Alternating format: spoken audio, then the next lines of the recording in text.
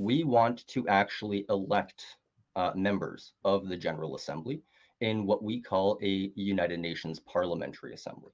That is one of our big projects that we work with uh, Democracy Without Borders with. Um, so something like a European Parliament, more.